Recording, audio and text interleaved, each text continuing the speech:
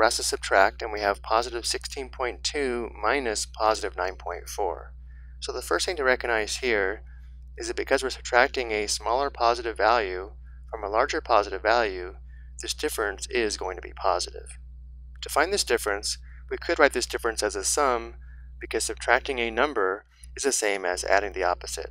So because subtracting b is the same as adding negative b, we could write positive 16.2 minus positive 9.4 as positive 16.2 plus negative 9.4. But this is not really needed because, again, we're subtracting a smaller positive value from a larger positive value, and therefore we can subtract like we normally do. So let's go ahead and find this difference by writing the subtraction problem vertically. We'd have 16.2 minus 9.4 before subtracting, move the decimal point down to the difference. And now before subtracting, we need to perform an exchange here. The 6 becomes a 5, 2 becomes a 12, 12 minus 4 is 8, and 15 minus 9 is 6. So our difference is positive 6.8. And this difference is equal to the sum of 16.2 and negative 9.4.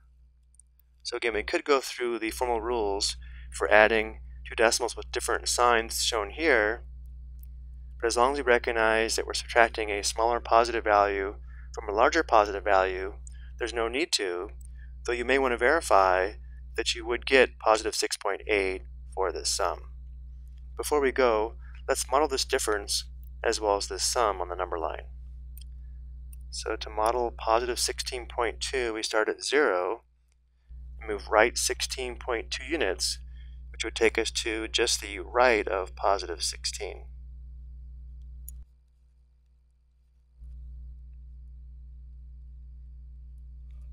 From here, because we're subtracting positive 9.4 or adding negative 9.4, we move left 9.4 units, which would take us back to positive 6.8.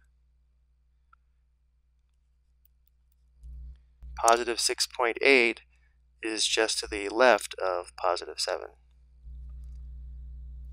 So positive 16.2 minus 9.4 or positive 16.2 plus negative 9.4 is positive 6.8.